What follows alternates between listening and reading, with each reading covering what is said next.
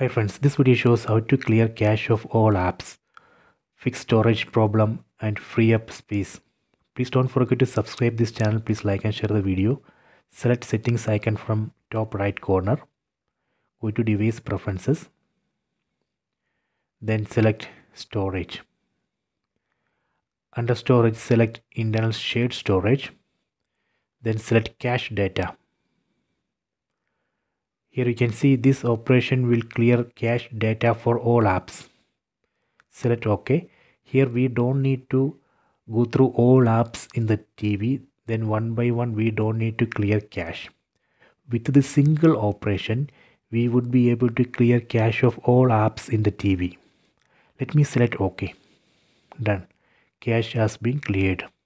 So this way we can clear cache of all apps in the, in the TV and that way we would be able to fix storage problem and free up space.